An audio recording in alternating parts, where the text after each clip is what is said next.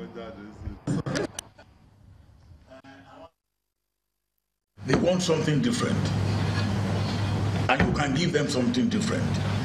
You must give them something different. You must. And it doesn't take a lot to give people good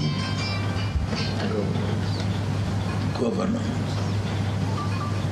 Sincerely good governance. Baba basically, uh, uh, you know, told us that there's a lot of work ahead of us to be done, so uh, we shouldn't uh, be complacent in any way. Just focus on the on the work to be done, you know, so that the people uh, can uh, have dividends of democracy.